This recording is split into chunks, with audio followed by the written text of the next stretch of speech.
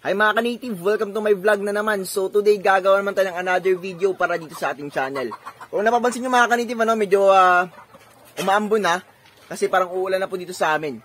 So bagay na bagay po to sa itatopic natin ngayon mga ka-native kasi marami nagtatanong ano. So ulitin ko lang yung vlog ko nung nakaraan kasi hindi po masyadong malinaw. Kasi kung anong ba dapat yung uh, ginagawa kapag uh, umuulan po sa ating mga uh, sa ating manukan. Kasi Uh, sa ngayon talaga may mga parating na bagyo. Yan. So para ma-prepare nyo mga kanitib, uh, ito yung the topic natin. Yan. Yan.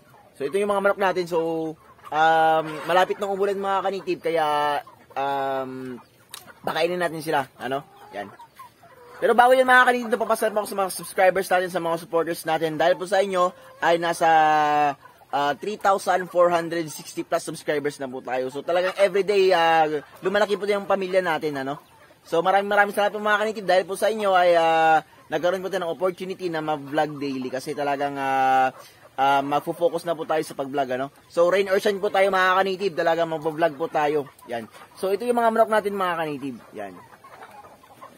So parating ng ulan, ay pakainin natin yung mga manok natin para bago sila dumapos sa kanilang uh, katulugan ay uh, busog sila. Ano? So tara, pakainin natin sila. So, yung ginagamit pa rin nating feeds is yung Hulu GPP mga kanitib, no? At mga kanitib, uh, humingi din po ako ng tulong, ano, na kasi pinopromote ko po yung aking uh, bagong channel. Ito po yon Yan, 7th channel. Yan. Sa mga mahilig sa aso dyan, pakisupport na rin din po. Yan, kasi bagong channel ko po yan mga kanitib, uh, pag-aalaga ng aso. Kasi nababalak po ako na magpatayo ng uh, munting uh, mga aso, mga asuhan, no? Or kennel. Yun pong tawag sa English. Yan. So, mga kaniki, huwag natin makasaya aksaya ng panahon na ng oras pala. Pakainin natin ng mga alaga natin. Nagmamadali pa ako mga kasi parang uulan na talaga.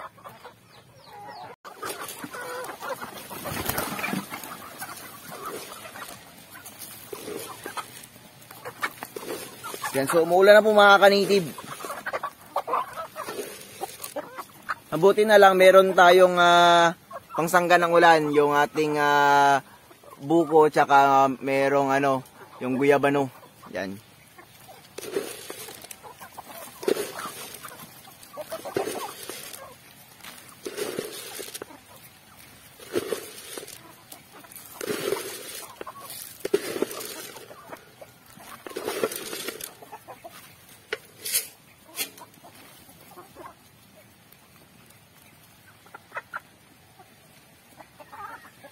Yan mga kanitib. So yung dapat ninyong gawin uh, kapag uh, umuulan ay pakainin niyo muna yung manok, ang mga manok niyo mga kanitib habang hindi pa malakas yung ulan.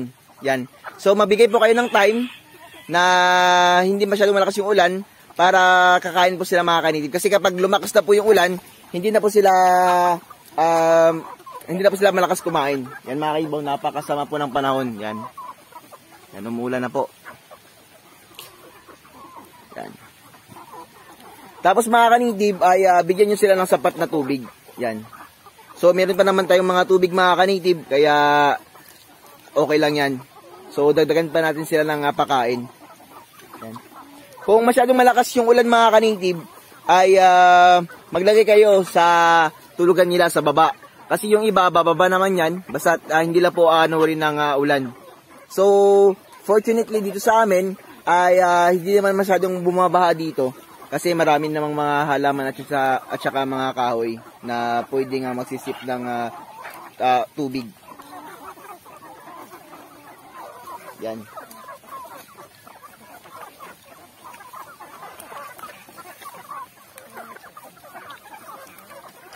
So talagang uh, malakas silang kumain mga kanitib ano. So yung feeds natin mga kanitib, Hulu GPP po, 980 pesos per sack, 50 kilos na po 'yon.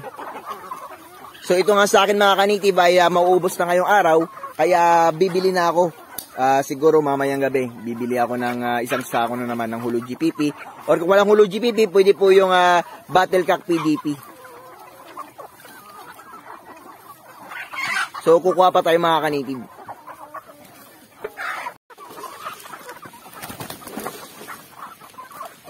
Mga kanitib, medyo malakas na po yung uh, ulan. So malaking tulong po talaga kapag may kahoy sa uh, inyong mga manok mga kanitib.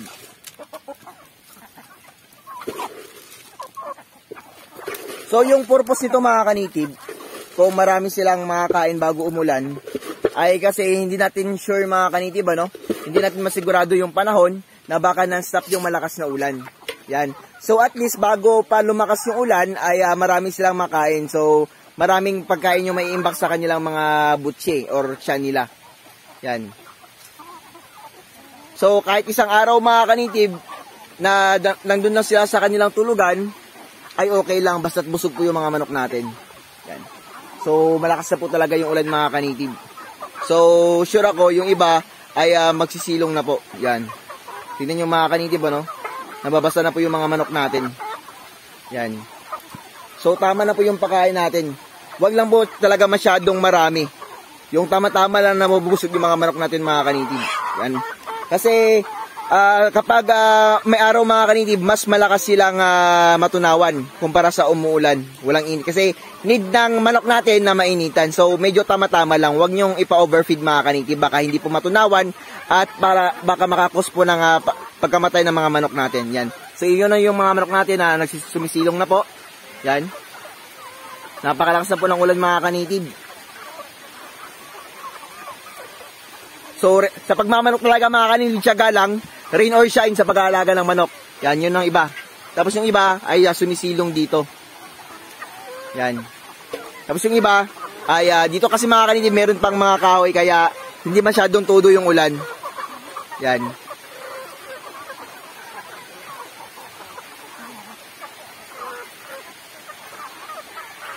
So, wag nyo lang talaga ipa-overfeed mga ka-native para matunawan din yung mga manok natin kahit umuulan, kahit walang init. Yan. Kaya nga sa pagmamanok mga kanitib, mas importante pa yung init kumpara sa uh, yung umuulan. Kasi itong manok natin ay uh, uh, family ng birds. Uh, birds naman talaga itong manok mga kanitib, ano? Kaya sila ay mga cold-blooded animals. So need nila ng mas mainit. Kasi yung dugo nila is malamig. Yan.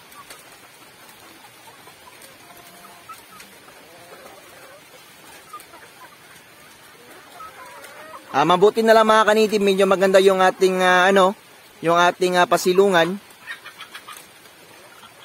Malaki siya. Tamang-tama sa mga manok natin. So sa mga nagtatanong mga kanitim, yung mga manok natin is nasa 80 heads lang. So medyo konti pa. Yung nasa range lang po yung 80 heads. Wala pang uh, kanalaman doon nandito sa kulungan.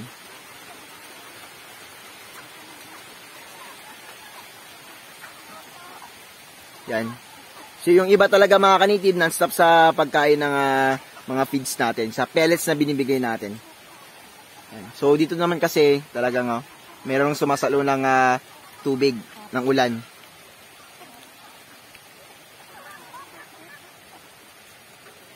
Tapos mga kanitib, uh, pwede yan so yung iba ay uh, ano mga kanitib uh, nandun lang talaga sa pasilungan. Yan. Yung iba naghihintay doon sa akin mga kanitib oh. Nagantay sila nabigyan ko sila ng pagkain. Kasi mga kaigo pag uh, lumalakad po ako dito ay talagang uh, sumusunod din po yung mga manok natin. Basta't kilala na po talaga ng amo nila yung ano uh, yung mga manok kilala na yung amo nila talagang susundan kanila mga kanitib yan, parang aso din po itong mga manok natin kapag marami na sila. Yan. Yung mga kanitib po napakasama po ng panahon. Yan.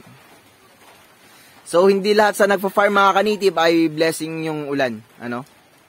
So, sa manok po, medyo masama po yung uh, palaging umuulan.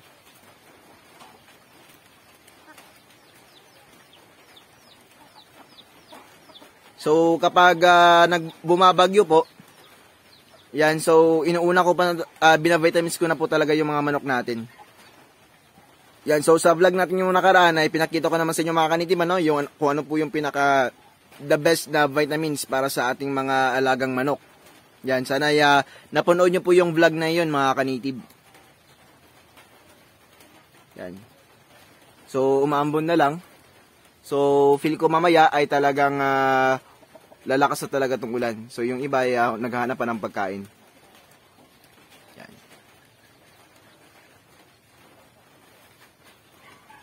So mga kanitib, uh, naghahanda na po ako para sa uh, parating na breeding season natin. Yan. So dito, Yan, dyan ko po ilalagay. Uh, medyo malawak-lawak pa naman itong ating uh, uh, bakanting slot dito. Yan. May bakante pa naman yung lote natin. Tsaka medyo marami-rami din po tayong kulungan. Yan. So maglalagay ako ng uh, net dyan. Uh, dyan hanggang dito. Yan. So corner po yan. Yan. So meron namang mga poste. Matataas yung mga poste natin. So meron pa tayong net mga kanitib. Medyo mataas-taas pa yung net natin. Yan. So dito natin nilalagay yung mga uh, sisiyo natin na bababa. Mga 1 month old. Tapos dito yung mga bagong pisang mga sisiw natin sa mga kulungan. Yan. Tapos maglalagay ako dito ng isang ano lang, isang uh, division para sa mga ibebenta nating mga uh, manok. Yan, para para yung mga seller natin, yung mga buyers natin ay uh, talagang ano, uh, madali na lang uh, makadakip ng ating mga manok. So excited talaga ako sa breeding season mga kanitib.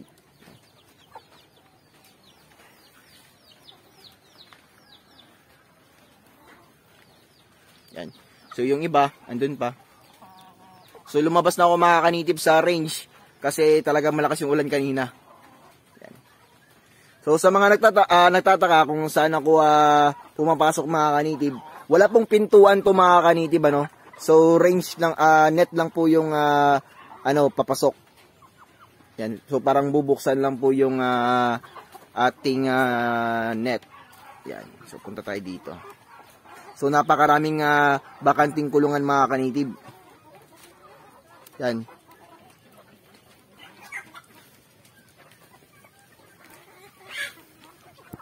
Yan, so dito po ako pumapasok mga kanitib, ano? Yan. Pwede yung buksan dyan. Yan, so isang tao lang po yung makakapasok. Uh, one person in a, uh, ano ba yun sa English? Yan, so isang pet, isang tao lang yung makakapasok dyan.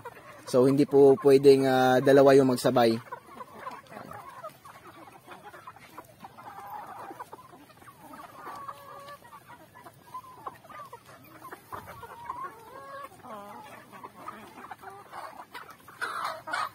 Yan. So, humina na po yung uh, ulan mga kanitib. Medyo may ambon-ambon na lang. So yung ibang natumba po yung uh, tubigan natin mga kanitib kasi na uh, natumba yung ano niya, yung isang kawayan. Yan.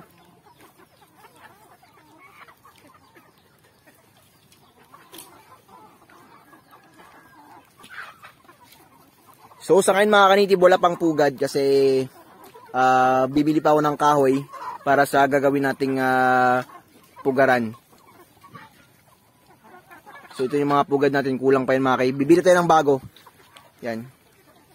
Kasi yung iba ay uh, hiningi po ng uh, kapitbahay namin.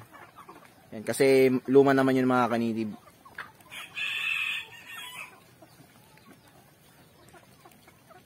So natumba po yung ating uh, isang tubigan. So lalagyan na natin yung mamaya.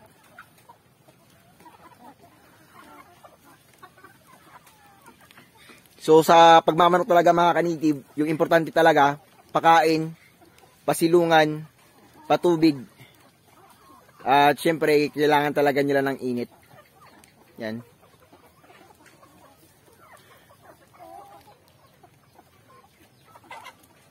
So ito yung mga kanitibo, dito tayo magsisimula. Yan, hanggang doon sa may motor. Yan, sa may kulungan.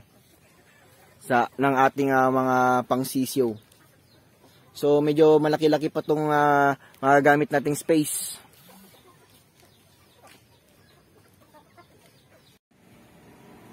Yan mga kanitib, so uh, sana may natutunan kayo sa vlog natin for today.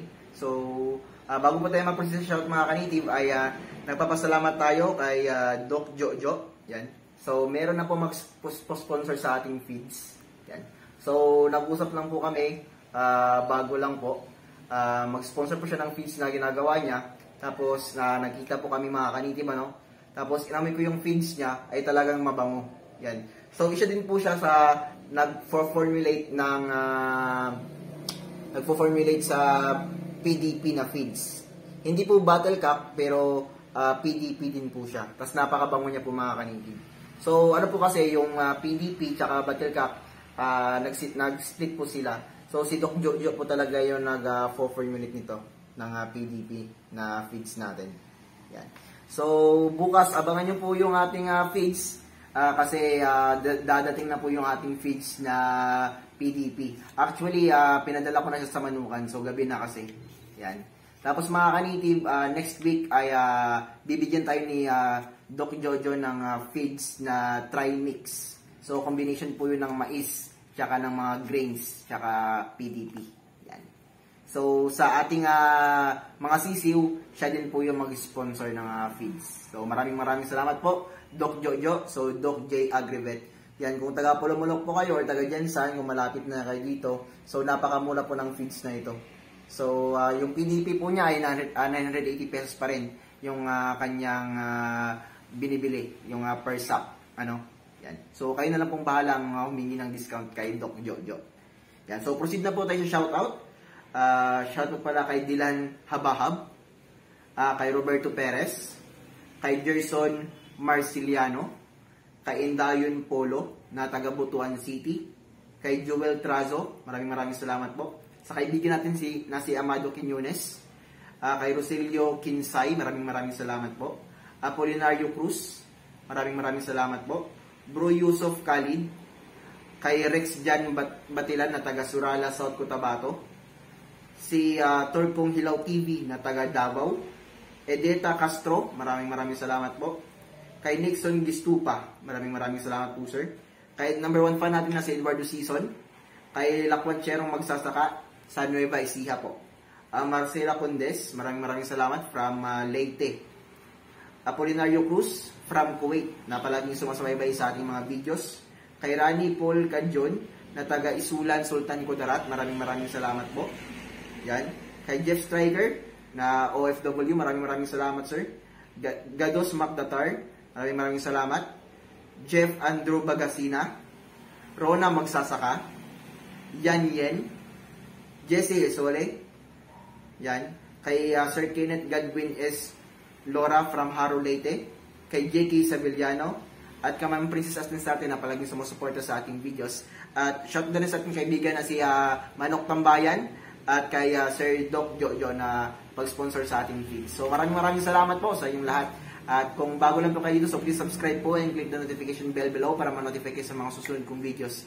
Mga kanitib, kung gusto niyo po magpa-shoutout, mag-iwan na po kayo ng comment or question dyan para ma-shout ko po kayo mga kanitib. Naghanap din po tayo ng the best question dyan sa ating comment section para i-vlog natin na, no? Kasi gumagawa, na po tayo ng daily vlog. So, rain or shine na po tayo mga kanitib. So, maraming salamat po at kita sa susunod kong vlog.